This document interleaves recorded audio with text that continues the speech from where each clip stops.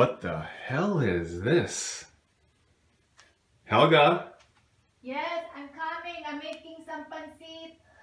Yes, what's the matter? Can you explain this to me, please?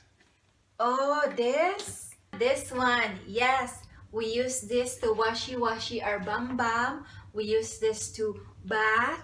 We use this to sometimes brush our teeth. And we use this for many, many things. But mostly to wash our bum bum, mister. Well, you know you can use toilet paper, right? Yeah, I know, but this is way better than toilet paper because it makes our bum bum super fresh and clean, mister. That's very interesting. Okay, thanks for letting me know. Oh, you're very welcome. Let me just excuse myself because I'm just cooking some pancit and I know you're very hungry, mister. Okay, see you later. Helga! Oh my god, what now? Hmm, stinky here. Are you decent? Here, cover yourself. Make sure you flush the toilet, okay? And I show you after. Okay, if I use a tabo without splashing myself. So in the Philippines, we don't have a separate shower. This is where we shit and this is where we shower also. So splashing water all over is not a big deal. Philippines, we don't sit on the toilet. We squat because we couldn't afford for a sit on the toilet. And I show you how to demonstrate washing your bum bum, okay? So now I turn around to show you how to clean your bum bum. First, make sure there's water here. Then, you hold this tabo on the right hand. And this left hand, you use to clean your bum bum. Are you ready? Okay, so first, put your put the tabo here and then put your hand over here. As soon while you're pouring the water, you pour the water and then go up and down, pour the water up and down like that, like that, like that. And then when you feel the bum bum is clean, then that should be already okay. Now that your bum bum is clean, always make sure that as you smell your hand. When your hand is stinky, you wash it with soap. Your hands are not only clean, your bum as well. Okay, listen up people. Tabo is not only for washing the bum, for showering yourself, it is also a holy grail for most Filipina women out there. As part of our culture and as part of being a Filipina woman, it is very important to have a very good hygiene using the tabo. Now, if you're a lady or a woman in the Philippines, it is very important that you wash your vajayjay every night, especially when you have a husband. Otherwise, you are not a lady. There are two ways to wash your vajayjay. First, you either sit down like this, like this. You spread your legs and you get water and then you washi-washi your vajayjay. It's the same thing how you wash your bum bum. Or you can squat like this, like this, do it like that, like that. But it's better if you sit like this. It's easier and it's cleaner that way. Now, when you have a Filipina wife and when you hear this noise in the bathroom,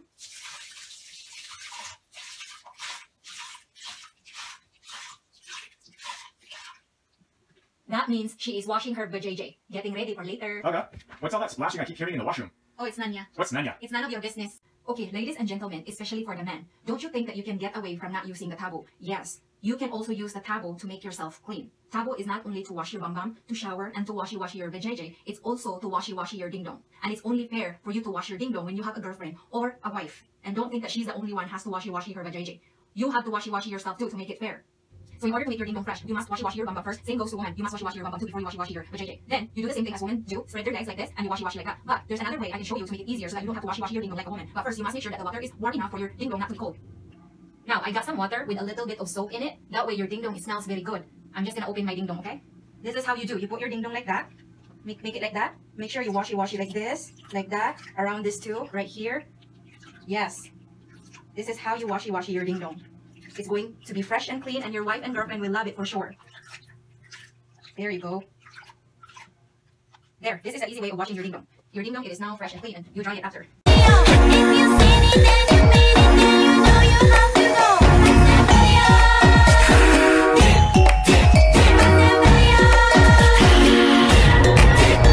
That's 13, 14, 15, right? 32, 33,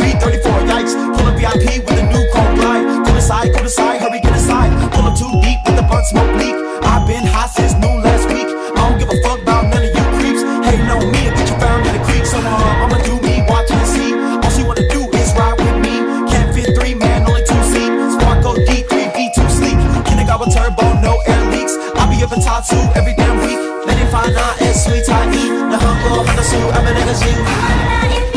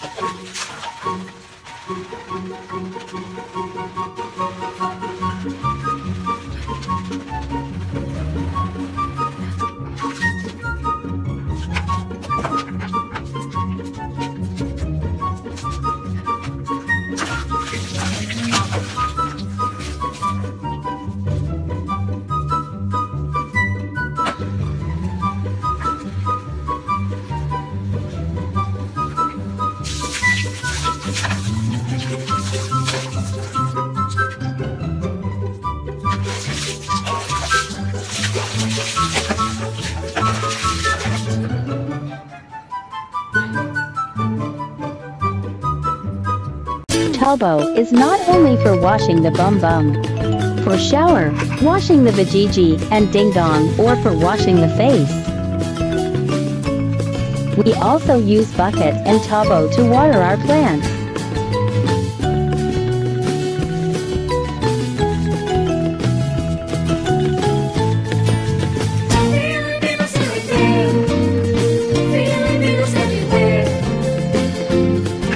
Working the sun